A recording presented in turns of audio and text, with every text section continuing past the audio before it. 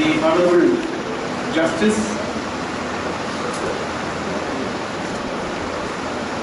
Dr. Manjula Challu, Chief Judge of High Court, Calcutta. Honorable Mr. Justice Sumedra Pal, Judge in charge of Andamanipur Islands. Honorable Justice Shivkant Prasad, Sitting Judge of Circuit Bench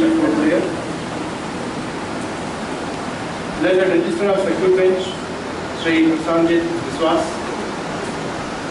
The District Executive Judge, Sri Shivantu Samanta.